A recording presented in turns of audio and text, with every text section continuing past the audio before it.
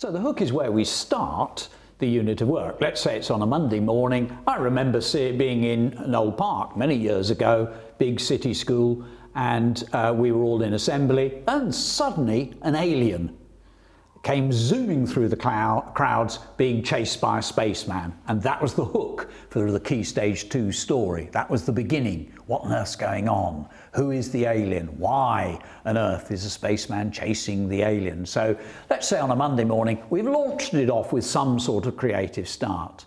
And then we're into learning our model text orally. And this is a really important part of the work that we do, particularly for those children, as uh, I've said elsewhere, those children who don't read very much, maybe they don't get read to very much at home, maybe there's not much interactive talk. Very early on, down in nursery and in reception, we can get going with learning simple stories like The Gingerbread Man. They have a lovely rhythm to them. Um, if you can teach a song, if you can teach Twinkle Twinkle Little Star, then you can teach them The Gingerbread Man.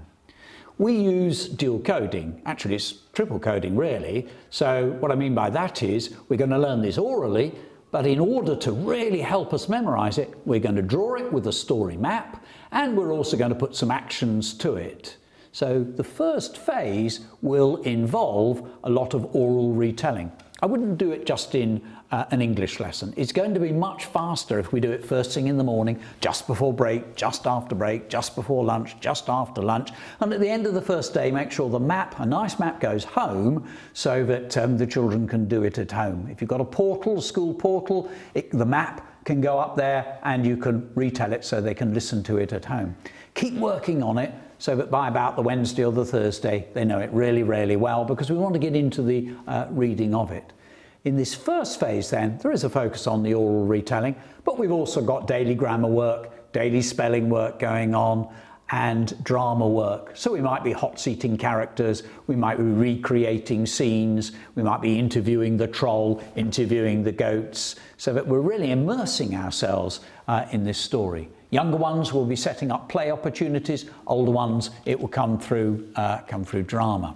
So we launch ourselves in, we use a story map, keep it very simple and very clear.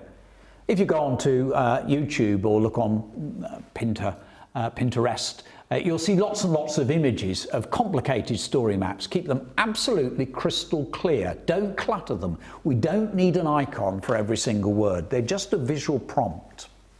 We can also use actions, and the actions need to be consistent across the school. So if it's once upon a time in nursery, then it's once upon a time in reception, it's once upon a time in year one. So we tend to use the actions for the um, phrases and the language that we want to emphasize and want the children to learn. So we don't say, once upon a time there was a little red hen who lived on a farm. We say, once upon a time there was a little red hen who lived on a farm. So we use the actions to emphasize the language patterns. We use our expression to emphasize the language patterns and to emphasize meaning because expression gives meaning and it gives punctuation. And we use the map as a visual memory. So we've got actions, we've got the map, we've got constant repetition. Almost every child, in fact, I can't think of many I've met, if any, almost every child can learn in this way. We're starting from what comes very naturally to human beings, which is the learning of language. Very small children are learning words if they're in, a, uh, in the right circumstances. They're learning lots of words every single day. So we're tapping into the natural bit. And of course, if we know it really well, the joy of it is when we get to reading, everybody can read it. So, with vigour, with expression, um, uh, we're going to learn our story orally, or our non-fiction text, or our rhyme, or our poem, we're going to learn it orally, so they've internalized it. One other thing I'll say about this, make sure the model texts are not too long. It is true that I, I, I once had somebody who said to me, it's taking a long time, we're on the fourth chapter. And our model texts are generally somewhere around 300, maybe 400 words. If you go over a side of A4, it's probably too long. And as they get older, in some ways, they need to get trimmer and trimmer and trimmer because if they're too full, you've got no room for manoeuvre in, in terms of adding and embellishing and manipulating. The best tip I can give you is make sure that you know the model text really well. It's hard to teach if you don't know it well. So practice, practice, practice, and then get the kids working with you.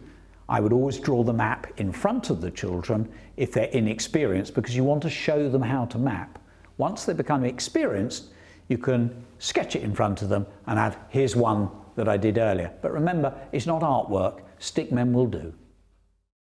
Let's imagine that we've begun our unit of work and we've had our hook, we've launched the unit off, everybody's interested and engaged, and we're in the process of learning our text. We might be playing at that if we're uh, working with very small children or using our drama work in order to slow it down and deepen understanding um, of the model text that we're using, whether it be story or whether it be uh, non-fiction or indeed um, a poem.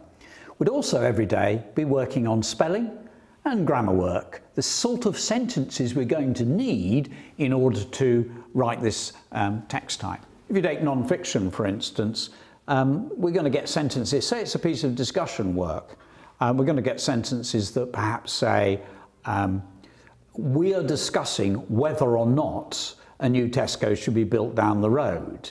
And that whether or not um, phrase can give problems to some children because it's not the sort of language that we hear at home. Many children won't have heard that and they certainly won't have come across that uh, necessarily in their reading.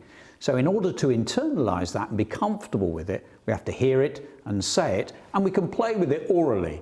We're discussing whether or not dragons exist in the Tewkesbury area. We're discussing whether or not um, donkeys can fly. We're discussing whether or not spiders should be banned from the plug hole. We're discussing whether or not, so orally we can practice that. And then we can have a go on our mini whiteboards. We can also teach the transferable spellings we need. So that word weather is W-H-E-T-H-E-R, and we're going to get that one right because we're going to need that one.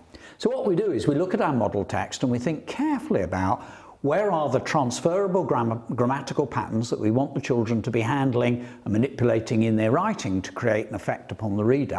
Where are the transferable spellings that we want them uh, to be using? And we make sure that those are taught every single day. The other element that might happen during the imitation phase, uh, uh, almost certainly will, sometimes it happens before, sometimes during, is the short burst writing.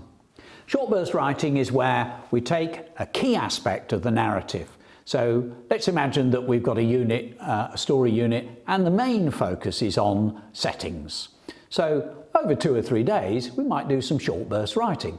So we might have up on the screen an image of an abandoned house. We'd brainstorm lots of words and phrases and ideas, and then the teacher would do some shared writing to model how to write a, a description, just that little paragraph perhaps um, that might go into uh, the story and the kids have a go at doing it themselves. So over two or three days we just sharpen our writing, we just get really good at writing setting descriptions because we're going to need to do that. It's the main focus for this unit of work. My wife, for instance, I can remember very often if she was doing suspense writing in year six, she'd get them writing suspense paragraphs over two or three days so that when they came to do the whole thing, they could refer back, and sometimes they would literally almost lift up uh, an earlier piece of writing and then manipulate it and use those techniques um, in their own writing. So running through this first phase, we've got the spellings, we've got the grammar, the sentence work that we need in order to create effects, and practicing our main focus um, that we're going to uh, be using when we come to uh, work on our story or our non-fiction text. So those things are going to be happening daily.